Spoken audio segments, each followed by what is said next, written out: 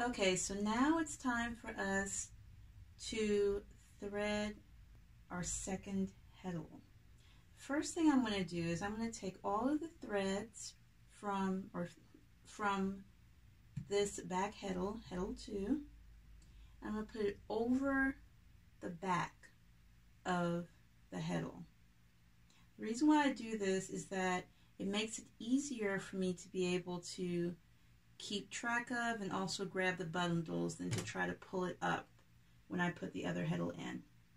The next thing you'll notice is, is that I have these binder clips and I'm going to use these to help stabilize putting the second heddle in.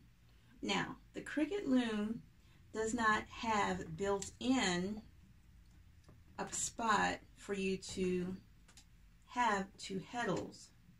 But just with a little bit of ingenuity, we can do this. So I have these binder clips on either side of this heddle that I'm going to be threading the threads from the back through the front heddle and the binder clips just give it a little bit more stability so that as I'm threading it, it just doesn't flop around so much. So we're just going to take it and we're going to have the binder clips and just put them on there so that, or I guess these wouldn't be called binder clips. Um, I don't know what they're called. They're just these clips. You can get them from the dollar store for a dollar or you can get them at your local box store. But just some type of clip that'll give it a little bit more stability. All right. So now, what you're going to do, when I threaded my heddle when I was first warping the heddle, I put I put um, I did not warp all of the spaces. So I, I left a space unwarped on either side just to make it a little bit simpler for this part when I'm explaining it to you. Whatever the width of your project, you're going to center it within your reed and you're going to thread the back heddle if you're warping back to front. Now it's going to be a little bit different if we're doing uh, indirect warp that was round, wound on a warping board. But because we're using a narrow loom, we can warp with a warping peg. It does cause some problems with tangling behind the heddle, and that's with whatever type of um, loom you have whether it's this loom or even the Ashford that has the space for two heddles, it's going to cause a little bit of tangling, but that's not a problem. I'm going to show you how to fix that a little bit later on. But what you're going to do when you get ready to warp this heddle, you're going to be putting your first threads in the slot. So you're going to take the thread from this hole and you're going to put it in the slot that's directly to the right of the hole. Does that make sense? So this hole is the second hole from the right, which is here. So I'm going to take this thread and thread it here.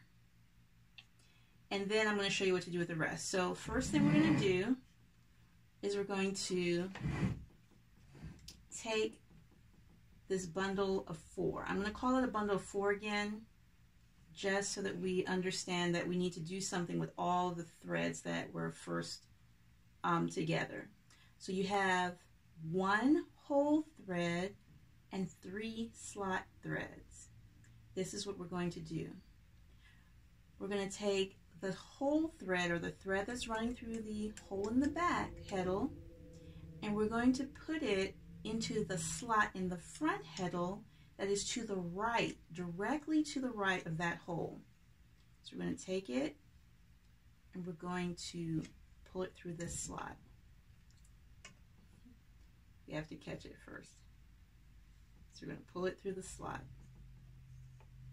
All right.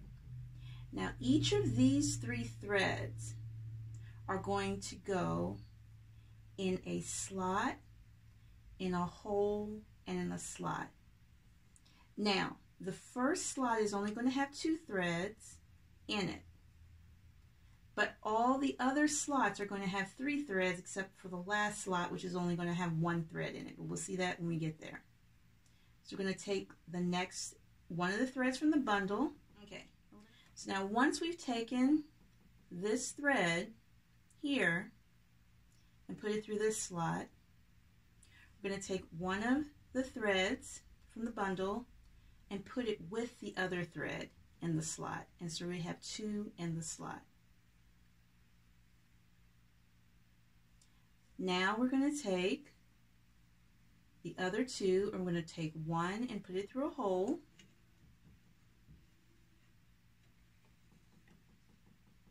And the other, we're going to put it through a slot.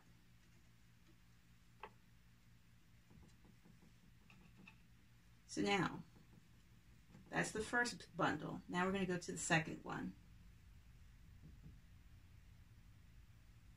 All right, so we have our four threads. We have one in a hole, three in a slot. We're going to take the one in the hole and we're going to put it with this one that's in the slot, the last one from the last bundle. We're going to take it, we're going to pull it through. So now it's in the slot.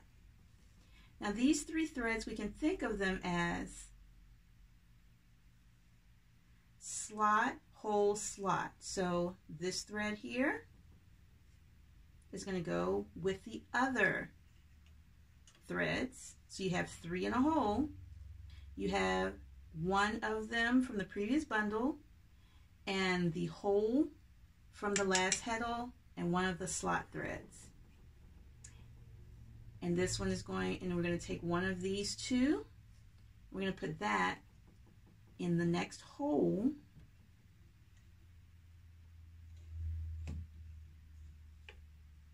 and we're going to put this one in the slot.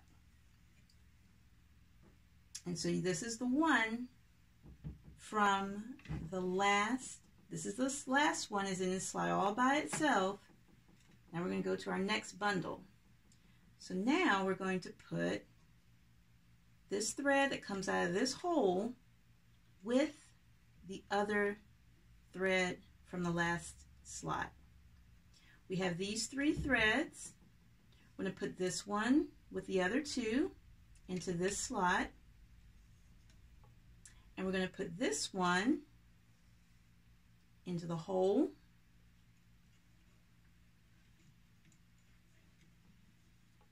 This one into the slot. So we have three in the slot, one in the hole, one waiting for the next bundle.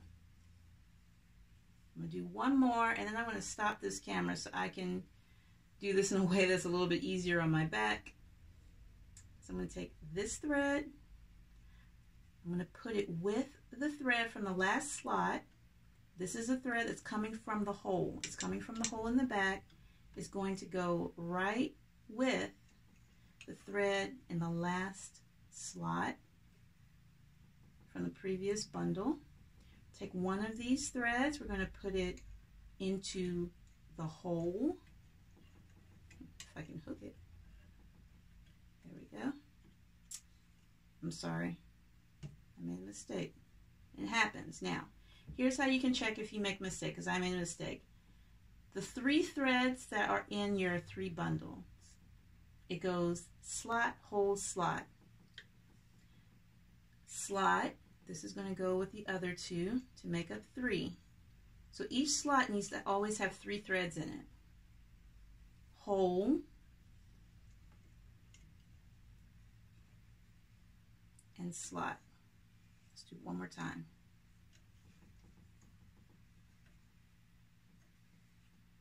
Okay, so we're going to have ne our next bundle. I'm going to take the whole thread and put it with the one from the last bundle. I'm going to take these three threads and we're going to put one of the three with the other two threads, completing it, making sure that there's three in this hole, three in the slot, I'm sorry, three in the slot. We're going to take one of the threads from that slot and put it into the hole and then the last thread is going to go through the slot. All right? Now, to check, you're going to take it, you can go up and make sure you just have one, go down, make sure you have just one thread going through a hole, and three threads going through the slot. Except for the first one, you're going to have two threads there.